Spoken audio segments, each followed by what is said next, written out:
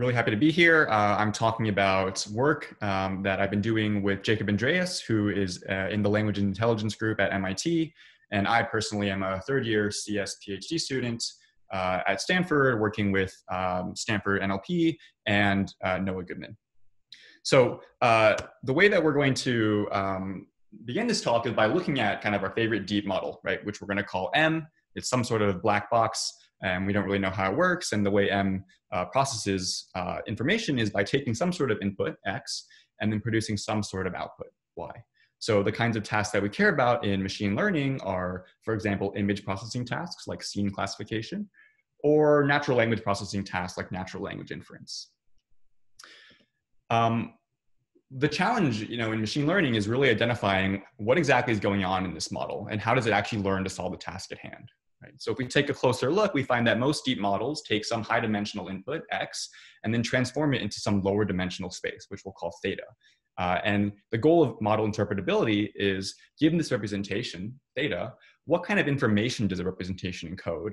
And does that information closely align with human intuitions about the kind of information that models should encode? So one of the most popular kind of approaches to analyzing the information inside learned deep representations is what I'm going to call representation level analyses or probing, uh, which started you know very recently, I think.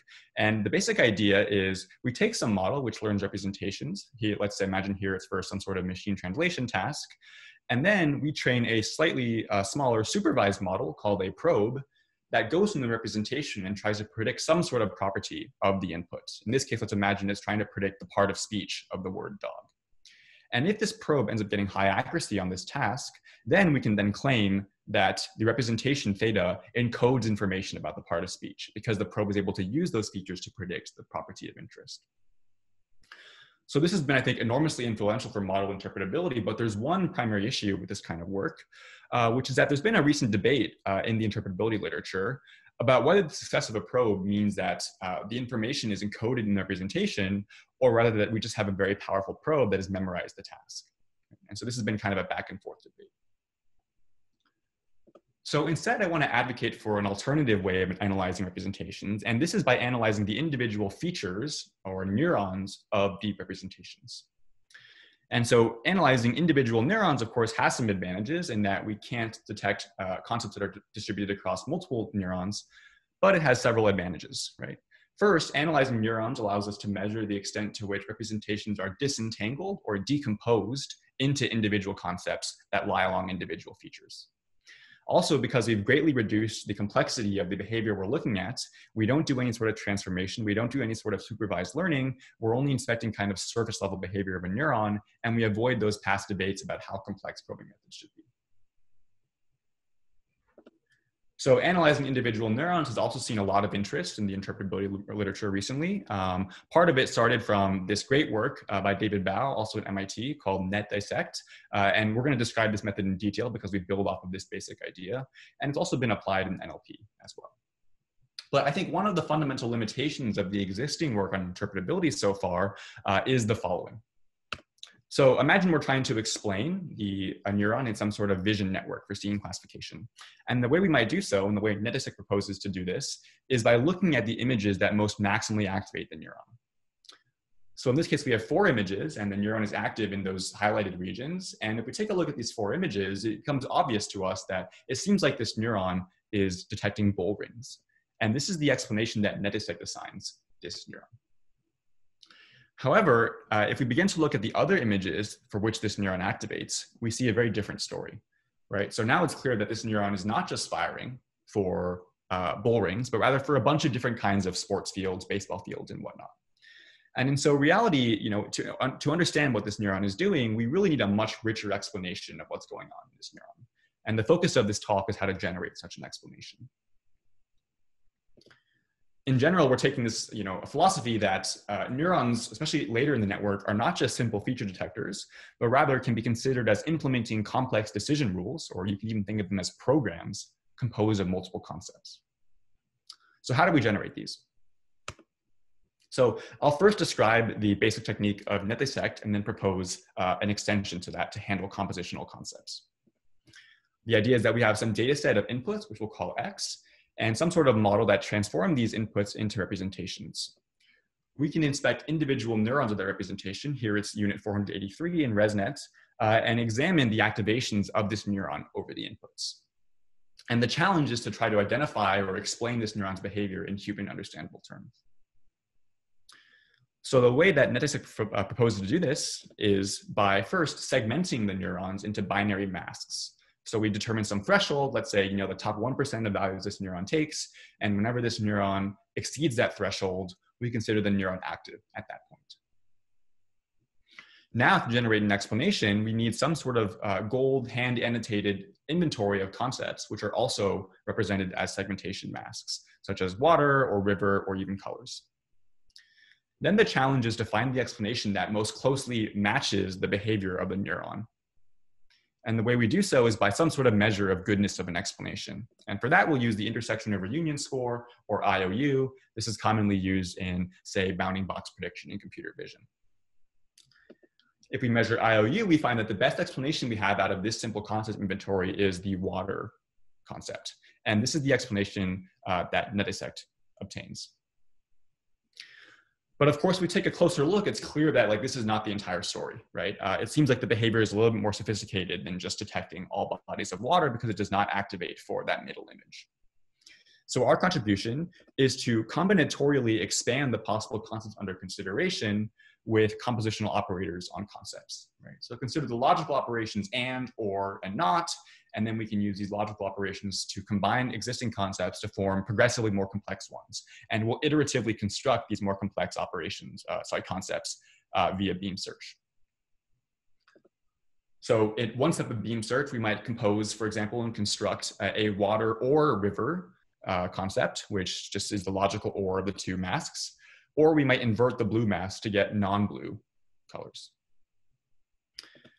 Finally, we keep going, and let's imagine that we stop at this explanation. So this is kind of a length three logical explanation, uh, which has a much higher IOU compared to the water uh, neuron and is more closely descriptive of the behavior of this neuron, right? And in particular, the explanation we have assigned now is that this neuron fires for water that's not blue, So that's the basic technique. Um, I think there are a number of questions we can begin to explore with this technique, but here are three that we looked at in the paper. The first is, uh, do neurons learn compositional concepts? So uh, does this you know, does this explanation technique bias anything over just simple NetDissect? The second is whether the interpretability of individual concepts in a model relate to downstream task performance in any way. And the third is whether we can use our explanations to begin to probe or manipulate model behavior. So let's look at these three questions. The first is, do neurons learn compositional concepts? So here what I'm going to do is I'm going to plot on the x-axis the maximum formula length of the explanations we generate with our procedure, and on the y-axis the average explanation quality, or IOU, of each neuron. So at formula length one, we have NetDissect, and as we increase the formula length, we get progressively complex, uh, more complex explanations. So what we see here is a positive relationship between formula length and IOU, indicating that we are indeed generating higher quality explanations as measured by IOU with about a 68% increase in explanation quality when we go from say one to length 10. We can take a look at qualitatively what kind of concepts are identified in this model. This is a model ResNet trained on a scene classification task. And we see that a lot of interesting abstractions emerge, right? So I can categorize these kind of broadly into four categories. The first of which are meaningful perceptual abstractions uh, that we can take a look here. Unit 192 fires for towers. Unit 310 fires for, say, bathroom appliances. And we're going to call these abstractions both perceptually meaningful and lexically meaningful because we can take a look at the explanation and understand the kinds of uh, concepts that are being fired for. We also have maybe about 22% of neurons which fall into this category of learning an abstraction that is perceptually meaningful but does not exist uh, in our concept inventory. And so unit 321, for example, is clearly some sort of ball or sphere detector, uh, but we do not have annotations of balls or spheres in our library, and therefore the explanation we have, ball pit or orchard or bounce game, it's a little bit less clear how that relates to the activations. We also see examples of specialization. So this is where neurons activate for more specific versions of concepts that are in our inventory. This includes that famous non-blue water neuron and also an attic neuron that fires only for the top triangular part and not the floor.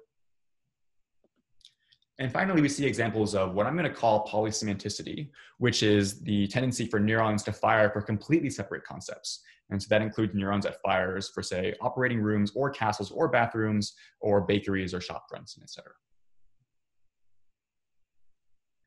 So this has given us an explanation kind of of what we're seeing in the behavior of a neural network that's been trained for scene classification. Now let's take a look at whether or not the concepts here relate to model performance in any way. So the way we're going to do this is by obtaining some sort of measure of the reliability or accuracy of the neuron.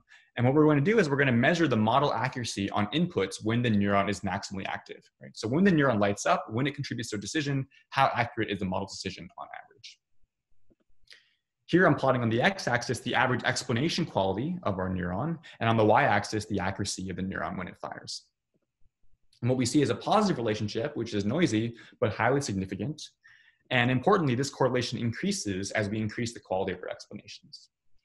And so what this is saying that is, is that at least in the computer vision case, neurons that are more human interpretable, that uh, are more compositional in their concepts, uh, end up being more reliable uh, for test time performance. And finally, here's um, kind of one last question, which I think is the most interesting one, which is can our explanations give us insight into how we can control and manipulate model behavior? So we've probed the final convolutional layer before the prediction of ResNet, which allows us to look at what kind of explanations contribute to certain class predictions. So here's an example of class 324 or swimming hole. Uh, and we take a look at the kinds of concepts that feed into this class. A lot of them are sensible. We have foliage and we have waters and we have creeks and deserts. Um, but in particular, there's a return of that non-blue water neuron. This non-blue water neuron is interesting, right? What, what happens is if we take a swimming hole image, which a bunch of neural networks think is swimming hole, and we paint the water blue, we manipulate the model prediction uh, to Grotto in three out of the four networks that we explored, including networks that are outside of the probe one, which is ResNet 18. So this indicates that you know we're latching onto some sort of data set bias here that swimming holes always have non-blue water, and these explanations has given us uh, insight into how we can then manipulate this behavior. Another example here is clean room. Um, so it's a little bit less clear uh, what kind of concepts are feeding into this prediction. But in particular, there's one concept here that fires for igloos. Uh, and so if we take a corridor and put uh, an igloo in it, we change the prediction from corridor to clean room, uh, but only here in the probed ResNet 18. And finally, one more example. Here's a viaduct. Uh, the you know concepts that feed into this prediction are quite sensible, but there's one neuron that fires for washers and laundromats as well. So we take a forest path, we stick a bunch of washing machines there, and we change the prediction to viaduct. So the method that I describe here is, in general, it's task agnostic. We don't have to apply it to vision. We can apply it to any kind of representation uh, learned by some deep model. And just as proof of concept, we can explore a natural language processing task. So this is the task of natural language inference. The basic idea is that we're given two sentences. One is a premise sentence, uh, such as a woman in a light blue jacket is riding a bike. And then there's a hypothesis sentence, like a woman in a jacket is riding a bike. And the objective is to determine the relationship between the truth conditions of the two sentences. So in this case, the premise entails the hypothesis. But if we change it to a bus, for example, then it's a contradiction. And finally, there might be a neutral prediction. There's no relation between the premise and the hypothesis. So I'm picking this task as a representative NLP task because in recent years, this task has come under scrutiny um, because it's unclear how much actual inference is happening in natural language inference. So I'm going to surround inference with quotes here. And here are two hints as to why this might be happening. Right. The first is we take some model that encodes the premise and the hypothesis and produces some prediction. Some sort of standard neural model gets us around 78% accuracy. Right. So that's pretty good. However, if we design an ablated version of the model, which only takes the hypothesis as input, so it completely ignores the premise, this model still gets 69% accuracy. Right. So there's a drop in accuracy, but this is actually still really good. And importantly, it's far above chance. So this is uh, an indicator that there's not actually much inference happening in this model. Similarly, we can come up with certain heuristics, uh, so heuristic rules, such as predict entailment when all of the words in the hypothesis are also in the premise, as is the case here. Turns out if you apply these heuristics, when they do apply, you get 90% accuracy on examples where this heuristic applies. And there are several such heuristics like this. So this indicates to, to us that you know, these models are maybe not really learning the right thing in trying to solve these tasks and are instead latching on to certain spurious correlations or data set biases. And we wanted to look at whether or not we can uncover these behaviors with our explainability technique. So here's our NLP model or NLI model, and we're going to probe the final layer of the kind of multi-layer perceptron. So we encode the premise and the hypothesis with LSTMs, we combine them, and then try to produce some prediction. And we're going to probe the final layer before the prediction. Our concepts will be very, very simple bag of words concept. So given some sort of premise hypothesis pair, we extract these very simple concepts where pre colon woman indicates that the word woman appears in the premise uh, pre-colon NN indicates the word, uh, sorry, the noun appears in a sentence premise, anywhere in the premise, uh, and so on. And additionally, there's this kind of overlap feature which indicates the degree to which the premise and the hypothesis share words. So in this case, uh, they share 75% of unique words. And finally, as our compositions, we can use and, or, and not, but just as a hint that we can use more unique compositions, I'll also define the neighbors composition, uh, which the neighbors of a certain token is the logical OR across the five most similar words to this token in uh, GloVe embedding space. And so the idea here is we're capturing this intuition that a neuron might fire for semantically similar words. Let's now answer our three questions. First, do neurons learn compositional concepts? Here is a model trained on the Stanford Natural Language Inference dataset, and we again see this positive relationship between our formula length and explanation quality. Uh, qualitatively, let's take a look at what's going on. So here is unit 870 in this model. Uh, here's the explanation we assign along with its IOU. And here are some examples of the neuron being most active. So uh, in general, uh, if we take a look here, we would really label this neuron as being gender sensitive. So it activates when the premise contains the word man and does not contain the word woman, and the hypothesis does not contain the word man. So basically, whenever there is a gender switch between the premise and the hypothesis, this neuron votes in favor of contradiction. So we can analyze the weights of this neuron towards the three class predictions here. Here's another neuron that fires. Uh, there's a few you know, noisy explanations here, but the key here is that overlap of 75% neuron. Uh, this neuron fires when the premise and the hypothesis share many, many common words, and it votes towards entailment. So these are the kinds of lexical overlap heuristics I was talking about earlier. Finally, here's a neuron that um, uh, activates whenever the word sitting is in the hypothesis. So these are words where the verb is actually quite indicative of the class prediction, even though they really shouldn't be. And so this one activates whenever the word uh, sitting is in the hypothesis, but not the premise. And lastly, we have neurons that are not well explained by a feature set, right? So this one activates whenever uh, there is a noun in the premise, which is almost all the time. We can again relate interpretability to model performance.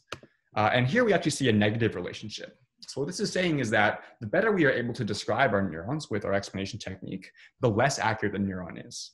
And the reason why is because the kinds of features we're using are very, very simple, right? They're just these really simple bag of words features, which you would not expect to really be involved in any sort of robust natural language inference. And so the better we can describe neurons as, you know, using these very, very simple decision rules, the less accurate they are on average. And interestingly, the uh, simpler explanations, the better we capture this anti-correlation. So one kind of key caveat here is that interpretability is not a priori correlated with performance. It really depends on the space of concepts that we're searching for. So in the vision case, we really were searching for meaningful abstractions, whereas in this case, we're trying to identify undesirable behaviors. And finally, let's take a look at how we can now manipulate model behavior in the same way. So here's an explanation of a neuron. This one fires whenever the word nobody is in the hypothesis. So that is a very clear signal that there's a contradiction, at least in this data set. So we take a premise hypothesis pair, such as three women prepare a meal in the kitchen, uh, and we can modify the hypothesis to nobody but the ladies are cooking. And so this should change the true label from entailment to neutral, but it changes the true prediction, sorry, the model prediction from entailment to contradiction. So we've induced uh, adversarial behavior in this model. Here's another example. Uh, this neuron fires for whenever there's some sort of word related to a couch or a table or a seat in the hypothesis. Uh, and so we take this premise and hypothesis pair, and we add the word couch in the hypothesis. We change the true prediction from entailment to neutral, but the model prediction from entailment to contradiction. Finally, one more. Here's that sitting neuron. Uh, here we can modify the premise instead. So we have a blonde woman is holding two golf balls or reaching down into a golf ball, and the hypothesis is a blonde woman is sitting down. It turns out if we just cut out most of the premise and we just have a blonde woman is holding two golf balls, um, the model still votes for contradiction, even though the true label is now neutral, right? So it's just the presence of sitting there that's determining the model prediction in this case. So just to summarize, uh, I've described a method for model interpretability and neuron interpretability specifically uh, that generates compositional explanations of the individual neurons inside deep representations uh, which allow us to identify interesting, more rich behavior in neurons. So this includes meaningful abstractions in vision, polysemanticity, and spurious correlations in language. These concepts actually have something to do with the downstream task performance of a model, right? So we can actually use these explanations to disambiguate neurons that are better or worse with respect to performance. And finally, we've shown some early evidence that we can now predictably manipulate the kind of behaviors of neurons by analyzing the explanations and then staging interventions based on the explanations. So future questions I'd like to explore, one is, can we better look at connections between layers? So here we always probe the final layer of a neural network, but we can definitely look at intermediate layers. And if you're interested in this kind of work, uh, the circuits work from the OpenAI team with Chris Olah has done really great work in this kind of area. And finally, insofar as we've identified that more interpretable concepts are maybe more desirable when it comes to performance, can we begin to use interpretability as a sort of training signal? We can try to encourage a model to be interpretable from the start. And does this lead to better performance? So that's it. I wanted to thank my collaborators and Jacob Andreas. Uh, here are some links to code uh, and the preprint, and I'm happy to take questions at this point. Great. Uh, thanks a lot, Jesse, for um, really interesting uh, interesting work and, and well presented also. Um, so my, uh, I encourage folks on the Zoom to put their questions in the Q&A uh, and folks on YouTube can put them in the live chat. Uh, but to kick us off, I guess, so my, actually, my, one of my questions you already, you already covered in your future direction. So I wanted to probe a little bit deeper on that, uh, which is, so what do you think the prospects are for using something like this as a form of regularization? It seems like, an, like, you, since you have these sort of two sides where it's like, okay, if the compl- if the explanations are bad heuristics, uh, that um, if they're if they're bad heuristics, that's maybe something that you want to penalize. If they are rich compositional explanations, maybe that's something that you want to uh, encourage. Yeah, so I think it really depends, as you said, in the explanation we're generating and whether or not they're correlated with desirable or undesirable behaviors. Um, in terms of, you know, in the desirable case, like in the vision case, for example, we might encourage the development of neurons to recognize uh, well-defined atomic concepts like dogs and cats. That seems like something that we can definitely do. Uh, but then the question becomes, you know, at what level do we really need to encourage this interpretability, right? So do we need to encourage it at the level of individual neurons, as we've done before, or can we maybe encourage it, uh, you know, basically just it needs to encode the concept somewhere, right? It doesn't have to be individual neurons. I think the individual neuron thing is interesting. I definitely think that there are ways that we can adapt this metric into something that's explicitly optimizable so that we can actually use it as some, as some sort of auxiliary regularization technique. And maybe the benefit we get there is like very, very clean interpretability, right? Like we know mm-hmm. there's a cat and dog neuron in this model because we've trained the model to expose that feature. Um, whether or not it matters for performance at all compared to maybe more general regularization techniques, I have no clue, but it's an interesting avenue for sure. Yeah, I think that would be would be cool. It seems yeah, the challenge that I immediately see is coming up with a way to quantify it so that you can include it easily in backprop, right? Yeah. So the basic idea, I think, is to introduce some sort of continuous version of this discrete, discrete thing, right? So instead of having to segment, uh, we could imagine just doing kind of a soft matching between the activations of a neuron and these ground truth concepts. Mm. Uh, and that would allow us to backprop through it. Uh, the other challenge then is just figuring out um, but you know, when neurons don't learn concepts at all, how do we know, or how do we, you know, which concepts are we pointing our neurons to in the first place, right? Mm. Uh, and generating these explanations takes time, and that's right. somewhat unclear. Definitely. Um, so one thing, uh, I guess I, I kind of want to ask, what makes, what do you think makes individual neurons like more explainable versus less explainable. So I, I mean, things like architecture choices, regularization choices, data augmentation or its absence. Do you have any sense for that? Yeah, uh, it's a really tricky question. You know, I think a lot of it is going to be driven by by data. Uh, I think a neuron is predisposed to do the easiest possible thing, which is just to latch on to something non-interpretable or spurious, uh, as long as the data doesn't really sufficiently test like the capabilities of that neuron in a way, right? So we can use these cheats to kind of get away with with uh, uh, simple simple cheats. Um, that, for example, is an explanation of why there might be polysemanticity in neurons. That a neuron can serve double duty as a bakery and a shop front, for example, because it never has to really clean, cleanly distinguish between bakeries and shop fronts, right?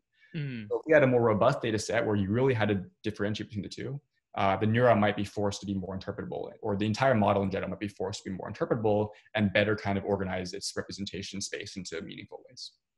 Hmm. And is there a clean way to distinguish between apparent, like, polysemanticity of an individual neuron and just representations being, say, like holographic or dense in the layer of all the neurons? Uh, that's a great question. Um, Yeah, I would say not entirely. So, I mean, this work, you know, really looked at individual neurons. And so we really can't determine the degree to which, for example, a neuron is polysemantic for bakeries and shop fronts, right? But maybe it's just like one component of a much larger distributed bakery detector. Um, I think the most promising work that tries to to identify that is by looking at like what kind of neurons activate for individual predictions right? So mm. given a single bakery image, take a look at the neurons that are firing. Maybe it turns out that there are multiple bakery detectors, and so we can actually identify the specific, you know, subspace that lights up for bakery, for example. Mm. Um, that's definitely an avenue of future work, which I think is definitely worth pursuing. Yeah, one of the it seems like one of the challenges there is that like one of the problems you solved elegantly in this paper is like okay, if we combine a bunch of simple things in a principled fashion, then we can we get access to a large space of possible explanations. Uh, but then when you try to understand polysemanticity, you also have another like exponential explosion problem, which is that all the possible polysemantic combination or not all the possible combinations of neurons that could be representing a concept is way bigger than just the set of all possible the set of all neurons in the layer. Yeah. Yeah, that's the challenge. Um, and there's not a clear trade-off between the two. I mean, this is why people are advocating for kind of the supervised methods, right? Uh, and maybe we need to look towards that literature to really, you know, identify concepts that basically in any way, shape, or form are somehow encoded in representations. Um, but of course, that already has its own debates. Although I think we're getting to steps where we're beginning to understand the kind of information that's encoded. Um, but certainly, you can definitely make, say, slightly simpler assumptions about the way concepts are encoded and then begin to look at for example multi-neuron concepts right? So maybe it's not dramatically too difficult to imagine that individual neurons fire for certain concepts and then consider a limited subset of linear combinations of those neurons and identify mm-hmm. to what extent those fire for concepts. Uh, that might not increase the search space too much. That uh, yeah that does make sense. Um, what role do you think that like optimization based explanations of neurons have to play uh, so like you know basically like lucid where or deep dream where it's like okay take an image or take a baseline and increase the activation of this neuron this linear subspace of neurons. Do you think that's something that could help with other kinds of explanation? Is it orthogonal? Is it maybe misleading? What do you think? No i think all that work is really really excellent. I think the main thing is that there's a lot of really interesting kind of model visualization or interpretability techniques that require that a practitioner implements this algorithm or runs it and then it inspects the activation patterns, right? And so you do some deep dream thing, you say, oh, this is the neuron that this is firing for, right? But the problem is that you have to go in there and actually look at the neuron and say, oh, this is firing for dogs and cats, right? There's no automatic gen- explanation that's generated. Uh, and so what results is that, you know, it can be potentially very time consuming. So the kind of approach that we're describing here is more of like an automated analysis where it's like, let's automatically identify behaviors that are encoded and maybe try to surface the interesting ones. Um, and so I think like in some ways are complementary, right? Like you do automated analysis of the type, type described here, uh, and then maybe if you need deeper dives or even prettier visualizations, you can inspect individual neurons by themselves. Hmm. Yeah, that uh, yeah, that makes sense. It does seem yeah that uh, uh, Chris Olah said something at a talk I saw once of just like he'd spent like thousands of hours with just um, the uh, the one that they did for circuits. I forget whether it was Inception V1, I think is what it was. Anyway, he spent thousands of hours with just this neural network, like looking through all of its neurons. He knows them by name. You know, he's got friends and enemies like in the units of, of Inception, and uh, that's you know useful, and we've learned a lot, but it's not scalable the way an automated approach like yours is yeah i think as a result like that work has generated just much richer understanding of the way that certain concepts are composed together in your in neural networks to form you know more sophisticated object detectors. Um, but you're right it's not scalable right? So the goal i think is like to bring this kind of automatic generation closer to the kinds of insights that this kind of hand curated circuits work can bring us. Mm. that's cool. That's a great that's a great ambition and i look forward to seeing the rest of your work. That's uh uh, all the time we have for the first speaker slot. So I'll uh, thank you for thank you for coming. Thank you for sharing. Uh, and look forward to see the the rest of your work in the future. Yeah, no, really happy. Thanks.